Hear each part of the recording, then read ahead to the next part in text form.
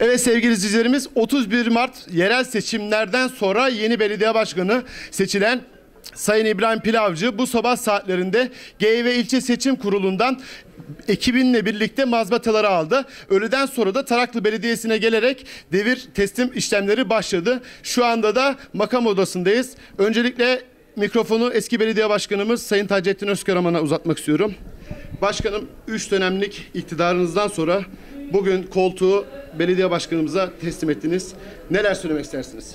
Evet bu bir bayrak yarışı. Biliyorsunuz bayrak yarışındaki sporcular aynı amaç için mücadele ederler. Birinin başarısı diğerinin işini kolaylaştırır.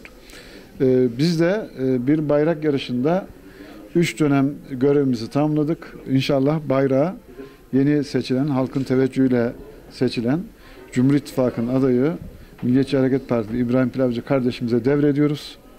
Ee, bundan sonra onun da bayrağı çok daha iyi bir noktada taşıyarak bir dönem, iki dönem, üç dönem ama sonsuz değil. Mutlaka yeni gelen bir başka arkadaşa devredecektir.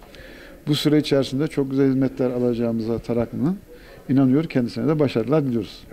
Evet sevgili izleyicilerim şu anda da yeni dönemin yeni belediye başkanı Sayın İbrahim Pilavcı ile birlikteyiz. Evet başkanım. Sakarya'da bizi herkes kaybeder diyordu. Niye? Beraber olamazlar, ittifak kuramazlar deniyordu. Ama ne oldu?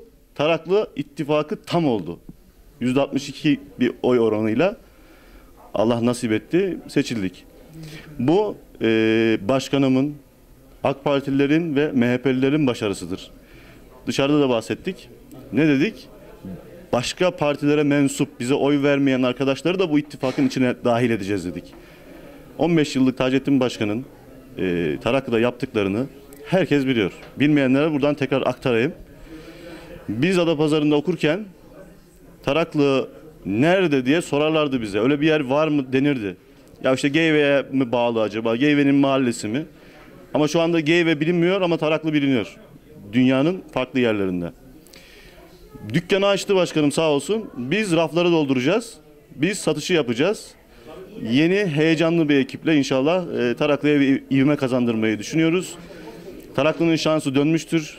Daha fazla hizmet gelecek. Daha güzel şeyler olacak Allah'ın izniyle. Allah birlik ve beraberliğimizi bozmasın.